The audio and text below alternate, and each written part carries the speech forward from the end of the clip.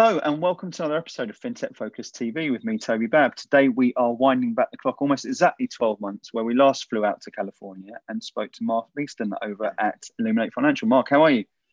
I'm very good, Toby. Thank you very much for having me here again. Great to see you. Likewise, likewise. And again, it looks like we've got roaring weather over there. I'm, I'm jealous as it's uh, slightly overcast again over, over these over these shores. I know you were back over recently, but how are things? Been well? Been well, been incredibly, uh, been incredibly busy. Managed to managed to get a couple of trips over to the UK since uh, since I last saw you, which is a whole uh, education in itself. The joys of uh, the joys of modern travel. But I don't know if we have time to go into that today. But uh, yeah, it's no, a whole very, other very show. busy. Whole another show. Listen, Mark, it's always great to speak to you and have you on the show. I'm really looking forward to unpicking what's been happening over the last year for you, for you and and and the business. But before we get into that, you know, there'll, there'll be people there who didn't catch the last one. Give us a little bit of a, an insight into Mark Beeston and Illuminate Financial. Sure. Well, let's do it in reverse order. So, so Illuminate Financial, we're a purely financial markets technology focused VC. I launched the firm seven years ago, uh, and we are on the ground in London, New York, California, and Singapore. 15, 15 people now. We launched our first fund in 2015, which was a 35 million pound fund backed or anchored by Markit and uh, Deutsche Börse. Made 12 investments uh, from that fund, sold the first one to Bloomberg in 2019. And then we launched our second fund in 2019, did a final close of that this year, thanks to the joys of fundraising through Brexit and COVID. It went on a little bit longer than we uh, might have expected, but more than double the size, 72 million pounds. We've made 12 investments already from that fund again anchored by Deutsche Börse and Markit, and excitingly got our first bank LPs into that fund as well, which I'm sure we'll talk about more later. Yeah, well, look, no, no time like the present. It's, I think that's extremely exciting stuff that you're talking about there, isn't it? Because it, it's the, the funds have performed incredibly well. Uh, the second fund closing now at the moment and having those sort of you know those first uh, investments from from the bank. So, talk to us a little bit about what what you went through with that and how it all came to part, all came apart. Yeah, sure. So look, I mean, as an emerging manager, you know, what what people don't kind of appreciate is, you know, fundraising for a second fund, you know, can all, you know, and even perhaps a third one can almost be harder than raising for the first, right? First one is, you know, people that you know kind of backing you, and that's great. But but when you kind of come back to market a couple of years later, you know, you're not going to uh, likely have had huge numbers of exits from the first fund. So you know mark to market might look good on paper but you know ultimately you know cash is king. So you know you're largely raising from a, a similar a similar group of people right? And uh, you know we got a first close done at the start of start of 2019 and we started investing from that fund. And then getting towards the end of that year you know as brexit was kind of dominating the headlines it was very very clear that that was going to become a big you know a big challenge to hit our target and and as we sort of were rolling over into into 2020 and this covid thing was on the horizon which as we all thought you know this thing could go on for weeks. So uh, there was no point in in in sort of deferring the final close to uh, to the middle of the year. You know we thought there was going to be too much of a covid distraction in q2 of last year. So we so we deferred to the end of the year. And more by luck than judgment, that took us through the repeal of the Volcker rule. And Barclays, who had been our you know, longest standing industry partner, you'll recall, of course, we have a very sort of strong industry connectivity line to, to what we to what we do. We want to connect the fintech community, you know, our portfolio obviously, but even our pipeline back to to the end users in a sort of virtuous uh, virtuous cycle that, benefits everyone. Barclays has been our partner for for six years, and they turned around to us and said, "Look, hey, you know, post this Volcker repeal, you know, we would love to be long term partners with you. Can we invest?" So they came on board as a as a significant investor, and then very rapidly on the follow, uh, J.P. Morgan who had been close to being a partner of ours many years ago before they set their in residence program up.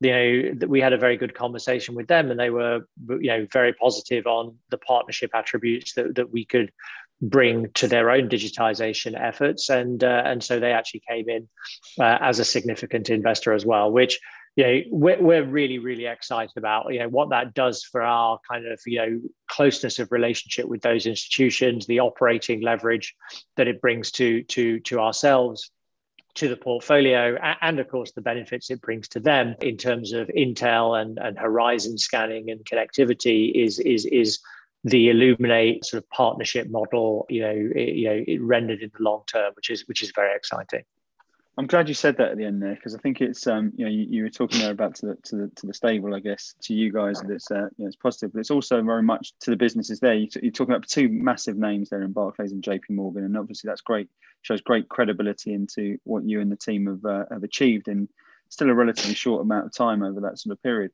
What was it you think that, that was the pull for for those two firms to get involved? Look, I, I, think the industry as a whole has spent, you know, a lot of time trying to work out, you know, what innovation means and what digitization means. And I think somewhere along the line, the rhetoric changed from innovation to digitization, which I think hmm. much more of, you know, as as applied innovation, right? So I think organizations are getting much more results focused in that space rather than you know sort of the the ivory tower lab type environment that, that perhaps we had seen you know for for the last you know almost decade uh, you know or so.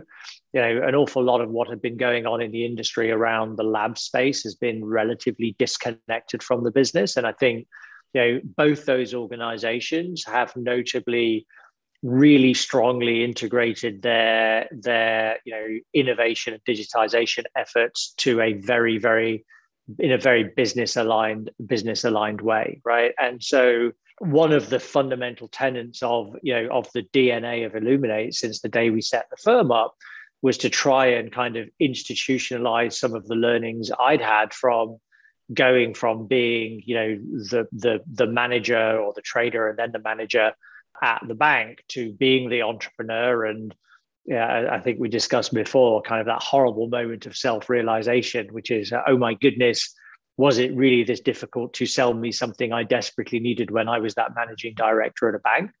The mm-hmm. answer was yes. These organizations are, you know, really on the front foot in trying to address that challenge by putting you know by putting those efforts you know very very tightly to to the guy on the desk you know the guy in controlling the guy in ops the guy in technology. And you know we are a very scalable horizon scanning and connectivity mechanism for them right? You know we we are cut from the same cloth in terms of our sort of institutional dna and we are you know 15 people across the globe looking at you know up to 200 of these types of companies a quarter and you know distilling the raw essence uh, of that back to what is you know credible workable useful to uh, to our partner group. So you know it, it's it's a very ben- mutually beneficial and symbiotic relationship. We get a lot of intel from our partners about you know their needs and the needs of the broader marketplace. We think that makes us smarter investors and and they get a, a lot of uh, a lot of market uh, intel and connectivity across the broader fintech landscape. Sounds like a good win-win. Yeah, indeed.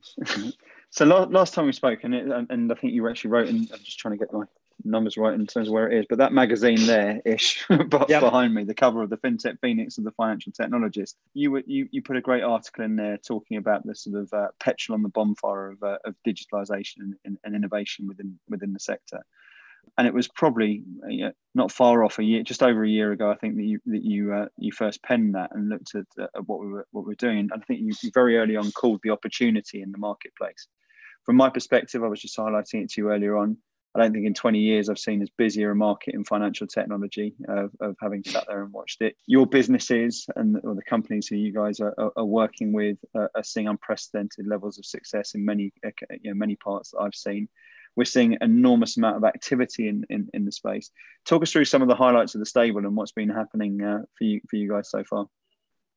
Well, I, I mean, well, let before I do that, if you don't mind, I mean, let's just pick up on what you said actually about the macro environment, because I think when we spoke before, you know, we were just into COVID, and you know, and uh, you know, I think at the time I was probably talking. I've certainly talked about it a heck of a lot since. We'd kind of gone through this great emergency digitization of, of March 2020, where everybody suddenly kind of had to move to, to, to work from home. And uh, you know, and so here we are, you know, more than a year later, and you know, what's the legacy of that, right? And you know, the legacy of that, you know, as I think we discussed at the time, it really has swept away, you know, a few of the sort of previously held tenets around what was and what was not possible on the technology migration path of, of, of large institutions, right? Now, again, that's not to say that security doesn't matter. Of course, it does. That compliance doesn't matter. Of course, it does. And you know, those are very obviously two very core challenges that that that institutions have to deal with in, in this new in this new uh, mo. But but I do think that the the digitization journey and the cloud migration journey in particular have had a massive shot in the arm no uh, i guess well maybe maybe there is a pun intended you know from from from from covid right? And so you know you know doesn't mean everyone's a winner but but there has definitely been you know there's definitely been a big you know a big acceleration right? And so uh, as you're aware you know we are a thematic based investor. If you you know if you looked at fund one there was you know there was a few data themes in there. There was some reg tech themes in there. There was some fixed income electronification type uh, type plays and some risk mitigation type plays.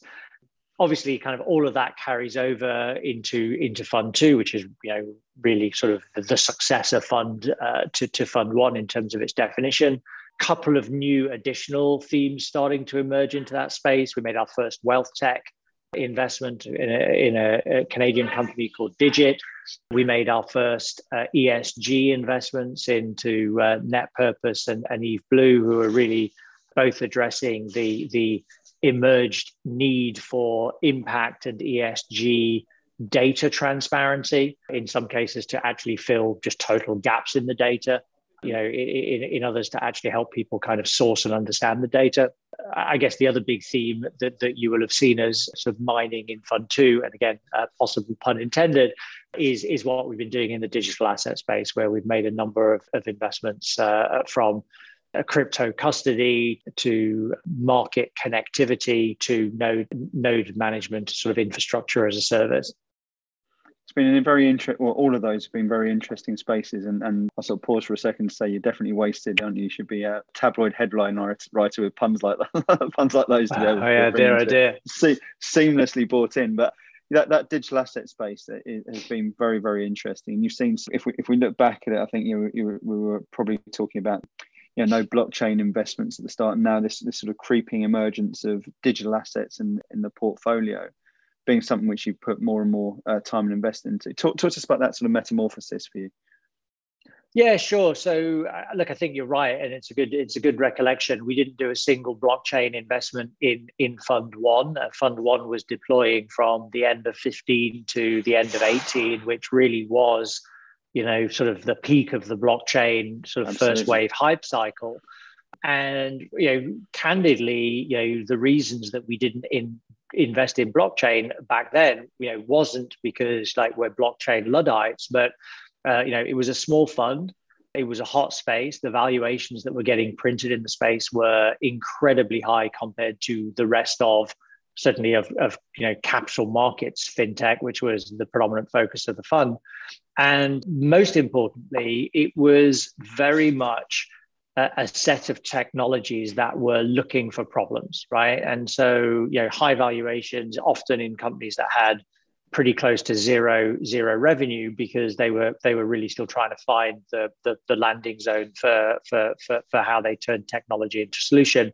And you know, as I would have said to you before, we are absolutely a you know business problem and solution first investor and technology second rather than technology for the sake of technology. Now mm. what has changed as we evolve into fund two is you know and, and again this may be covid legacy you know or it may just be you know the natural evolution of the market was you know we'd gone through you know the first bitcoin hype cycle. We'd gone through all of the you know the icos and altcoins we'd started to see you know much more happening in the world of tokenization and securitization. We've seen the stable coins come to market. Whether you believe in Bitcoin or whether you believe in stable coins or whether you believe in tokenization or you know, you know, you don't need to believe in any one of those things, right?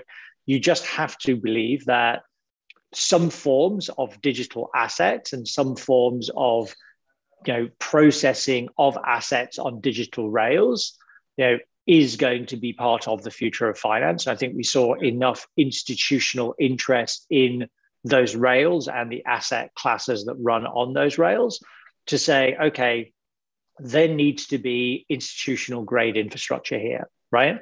And if you draw the parallel back to Fund One, you say, okay, well, you know, you, you did a lot in fixed income electronification in Fund One. What was that about, right? And so, you know, if you think about the relative states of electronification of the markets where you know equities has always been up here and fx is there and fixed income was here right?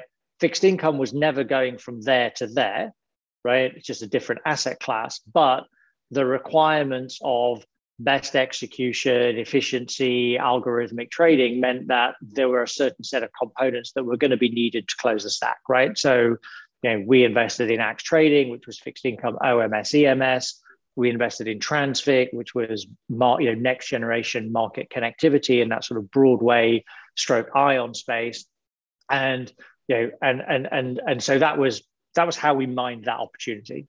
And then you look at the digital asset space, and actually what you have here is something that when you try to evaluate it on that same scale, it, it it's kind of hard, right? Because actually it's fundamentally you know started off as an electronic market. It hasn't started off as a voice uh, as, as a voice market but of course it's it's a it's an electronic retail market a very very fragmented retail retail market. And so you look at that and you say okay you know it's it's natively electronic almost by definition exactly by definition right? But for it to be for it to evolve to become institutional right? It's missing so many parts, right? Like, you know, like custody is the first part, right? Fidelity or BlackRock or Deutsche Bank or whoever can't start trading billions of dollars of crypto or you know, or any other form of digital asset if someone's got to keep it on a hard drive or someone's got to keep it on a USB. So in the same way that you know we needed institutional grade custody for bearer bonds 100 years ago, right? We now need institutional custody for you know these types you know for these types of assets as well. And so you know that was our first foray into the space. We invested in a crypto custody business called Curv. Five months later it was uh, it was acquired by paypal which is either a great thing or a really annoying thing depending uh, depending on whether my glass is half full you know, or, or, or, or half empty, my, my investors were delighted that we'd managed to turn, you know, turn a kind of quick, a quick return there. Personally, I would have rather have been in, you know, in, in, in that opportunity space, having identified a missing piece of infrastructure uh, you know, and put the position on, I'd, I'd, have rather been exposed to that for five years than, than six months. As it happens, we then made our second investment in the space, which was Copper, who are very much in uh, in that same sort of crypto uh, crypto custody crypto custody space. We've invested in Talos, which is market connectivity. So think about institutional needs around you know having access to more than one trading venue, the requirement to try and create some element of best execution, uh, and indeed some element of consistent execution, right? You can't be beholden to one exchange if that exchange is down or the liquidity isn't there. You know, so so again, in the same way that we have those platforms providing multi-venue connectivity for fixed income or for or for equities, institutionalization of digital assets requires the same thing. And Talos are are, are, are out there are out there doing that and then, and then of course you know you have all of the infrastructure that this world is operating on right? So you know the blockchain requires you know requires some form of proof or mining or staking or you know the infrastructure to do that on. And so we made a we made an investment in in a company called Blockdaemon who are in that sort of infrastructure as a service for the uh, the digital asset digital asset space. And there will be more to come right? You know there's there's well documented challenges around KYC. You know, great companies like Chainalysis doing a doing doing a great job there.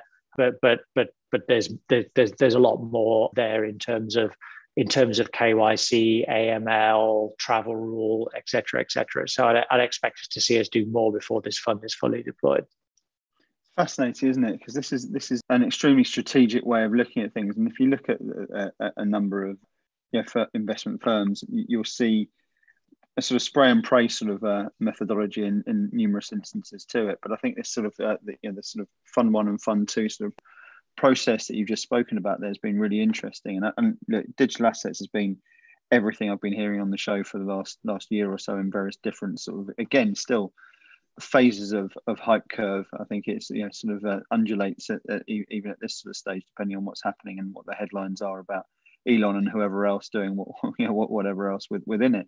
Yep. But I think that the, the, big change from when you were talking there, as, as you say, between you know 15 to 18 and and uh, where we're looking at now, there's been yeah that institutional interest in it, and even and, and even the state interest in it at various different stages to legitimize the, the, the whole opportunity of it. So rather than uh, you know uh, bankers seeing it as effectively money laundering and, and, and such like to actually seeing seeing you know the, the power and possibility of the tech but also the the uh, the likelihood of this becoming a, a, genuine asset class. And I sort of have my thoughts as to whether it, it is now officially seen as an out and out asset class or, or, or, not. And but it's certainly heading you know lurching towards there with ever increasing velocity.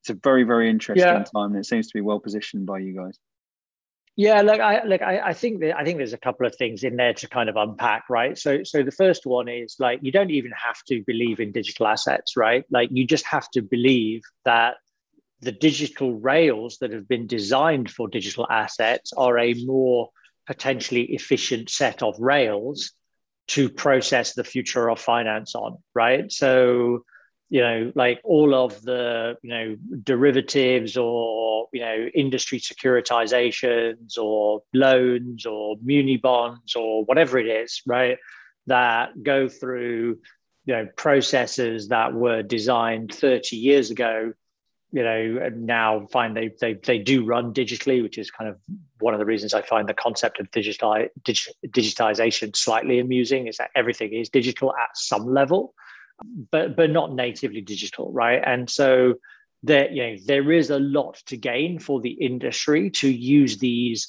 natively digital rails to have much more you know efficient transaction processing irrespective of whether the thing up front is something that we con- consider today to be a natively digital asset so so that so that's kind of point point number one and then it kind of ties back to to, to the second point which is as with Fund One, you know, we're not trying to pick winners in terms of, you know, back to your point about spray and pray, but, you know, fixed income electronification. If you ask 99 investors, how do you express a view on fixed income electronification? They're going to say, invest in a trading venue. And we didn't, right? That's not to say that we won't, but but what we did was we invested in the the rails, the picks and shovels of the uh, the fixed income electronification gold rush. And what we're doing here is the picks and shovels of the digital asset gold rush that doesn't require us to say we think Bitcoin is going to be the winner, or we think that you know Ethereum is going to be the winner, or Ripple, or anything you know, or, or, or anything else. A rising tide kind of floats all boats, right? And and and so you know these infrastructure plays will win out as long as there is a migration uh, you know within within within the asset class as, as a whole and irrespective of of of individual winners and losers. Without looking at and, and being intimate in my knowledge of the uh, of the data you you you guys seem to have a, a sort of healthy knack of outperforming the uh, the the market and the picks that you're that you that you guys are making effectively and where your investments go. Tell, tell me a little bit about the secrets behind that. What it, you know what's what's what's why is that working so well for you right now? Is it that strategy well, of just looking at what's what's hot and uh, making the right courses? Yeah. And I know we've spoken in the past about where it goes, but you, are not. I know you're not going to give it all away, but what's uh, what's working well for you at the moment? So, so look, a, a, you're very kind, and B, you know, if if if if if if this doesn't work out for you, there's always a job for you in there's always a job for you in PR at Illuminate. But uh, look, you know, you know, let, let's start with a little bit of humility, right? Like we're an emerging manager, right? So, you know, I'll, I'll tell you that it's all working perfectly when we've returned our first fund, you know, many times over to our, you know, to our investors, right? You, you know, but you know the underlying facts as they sit today you know fund one we made 12 investments. We sold one to bloomberg in 2019 we did a partial sale of another one during covid last year. You know we've returned about 16% of our investors capital so far. So you know useful but not massively not massively material. Every single one of those other 11 companies has now gone on to raise money externally at a higher level than the level at which we in, invested, you know, at, at, least once, if not multiple times. And again, that is an array of investors from you know some of the best recognized venture investors in the world. Accel have invested in two of our Fund One companies, Privitar and, and more recently Genesis. Citibank have uh, or Citi have gone on to invest in five of those 11 companies. And then, you know, in between Accel and Citi, you've got a plethora of other venture investors, growth investors, and, you know, and banks and, uh, and, and their users. So, so it feels like something is working because nothing's gone pop yet, touch wood. What is that? Well, you know, I think it comes back to your earlier point. Like we're not a generalist spray and pray investor, right? And it comes back to what I said uh, around this kind of virtuous cycle, right? Illuminate is sat there spending a huge amount of time and effort talking to the industry, the buy side, the sell side, the infrastructure players, understanding you know what are the problems that need solving now you know and introducing our pipeline to those organizations and individuals and and and you know getting a view on that you know, and and and really kind of deploying capital where we see that there is already, you know, an interest, you know, and a readiness in the market to adopt the sort of solutions that we are that we are looking at. So, you know, we're not the sort of venture investor, and it always amazes me that there are guys out there that do this well. That, that are you know going to sit there and you know have somebody come in with a piece of polystyrene foam on a piece of cardboard and say, we're going to put some technology in there and it's going to count your steps and that's going to be Fitbit and it's going to be worth billions of dollars. Uh, you know, it's hmm. like, wow, I, I, how does somebody evaluate that? Or, you know, we're going to create a software platform and people are going to rent out the spare room in their houses to total strangers who won't mostly murder them, uh, you know, in their beds and and steal all their stuff, right? I mean, like you know, the ability to say yes to those types of investments is a, is a remarkable thing. That's not what we do, right? Yeah. You know, we are collecting industry pain points and we are sifting through an incredible pipeline of solutions and we're just trying to we're just trying to find a fit. Um, you know, this is not over the horizon technology. This is again, it's back to that.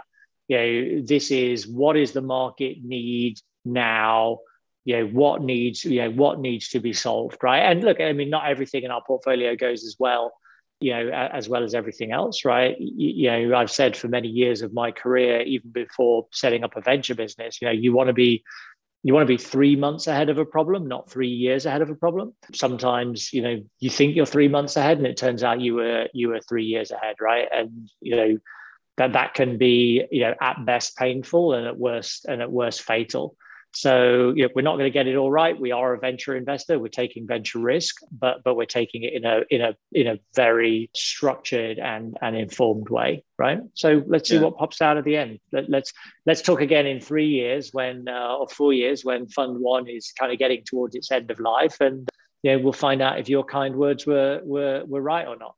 I'm never wrong. I'm never wrong. so I hope you're not. I hope you're not. and I'm sure we'll be checking in every year as we go through it as well. But this is I, I think for, for me that that sort of point there about collecting industry pain points and that there's been well over a hundred of these these shows that I've run now over the, over the course of last year. And if I look at that common theme of the companies who I think have generally been spectacular over that period, that sort of seeing what the market needs now and what needs to be solved, I think has been you know a, a underlying and, and critical part of those businesses who've, who've, who've succeeded.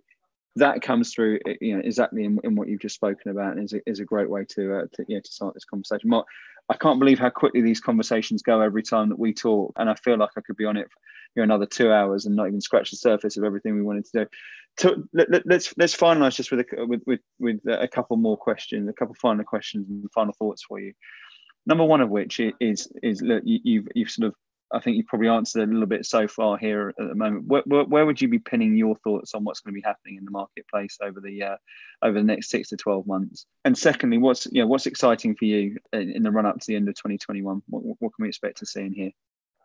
Okay, so really good question. So look, I think I think over the six month horizon, you know, I think everybody is just struggling with like, what does the return to the office look like? Not, not, not the return to work, which is what people keep calling it. It's like I think everyone feels like they've been working pretty yeah. hard, but, but you know, what does that return to work look like? You know, and and what is the new the new normal? And you know, like we're both living in jurisdictions where you know that we we have no lockdown anymore right you know we're open and we're, we're nowhere near normal right so so that's an interesting challenge. We actually have made one investment in Fund Two that addresses that quite specifically. You know, a company called Time is Limited, which is which is like doing data analysis of how teams interact, how diaries work, how they interact with the collaboration products, whether that's Slack or Teams or Zoom, you know, what the strength of people's networks are, if they've been onboarded remotely post COVID versus people that were perhaps brought on, you know, you know, face to face pre COVID.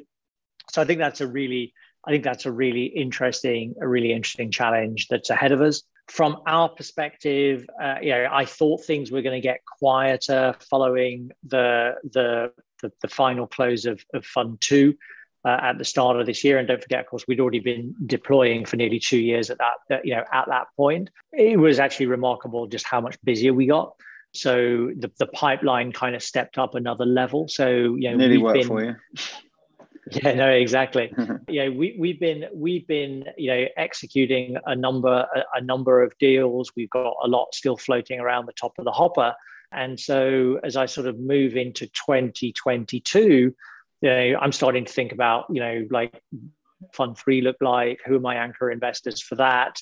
Should we be launching a, a growth fund that kind of does the next stage, uh, the next stage as well? So, you know, it might be time to start whipping the fund three deck into shape and and starting and starting to beat that uh, to beat that drum. Uh, I might take a week off in August first, but uh, but but I think coming back into Q4, that's probably that's probably where a bit of my focus goes. No time for these weeks off, Mark. It sounds like you're too busy for that. What's a vacation? Been, exactly. yeah, yes. I'm sure you managed to keep yourself busy in it, nevertheless. My absolute pleasure. Um, pearls of wisdom. I'm, I'm so pleased to hear uh, just just how well things have, have, have, been going, despite you know what what I, I, I cast my mind back to that that year ago when we were talking, and and uh, you know, again, it was that that's what we were talking about Sequoia and they're sort of uh, everyone batten down the hatches and this is going to get get bumpy and and you know the validity of that or whether it's gamesmanship was an, was always a question mark. But you know what was was very interesting was the uncertainty that everyone faced at that sort of stage and and to see the businesses that have been attached to you thrive so well and your company in turn uh, continue to gain momentum and get that sort of uh, validity through you know everything, but all, you know, incre- even more so that Barclays and JP Morgan stuff is is just uh, absolutely magic to see. So congratulations on everything. Thanks so much again for you for for being so generous with your time and coming back on the show. If anyone wants to get in touch with you and find out a little bit more, what's the best way of doing that? mb at illuminatefinancial.com uh, or drop me or drop me a LinkedIn. Uh, always interested to hear from people. Fantastic. Mark, thanks so much. Have a great day today. I know you've been back to back since 5.30 in the morning. You are doing well on it, and uh, we will doubtless see you again very soon. Really appreciate your time. Really appreciate the opportunity. Always a pleasure, Toby. Take care. Good man. And thank you all for watching. We will see you soon on another episode of FinTech Focus TV. Thanks a lot.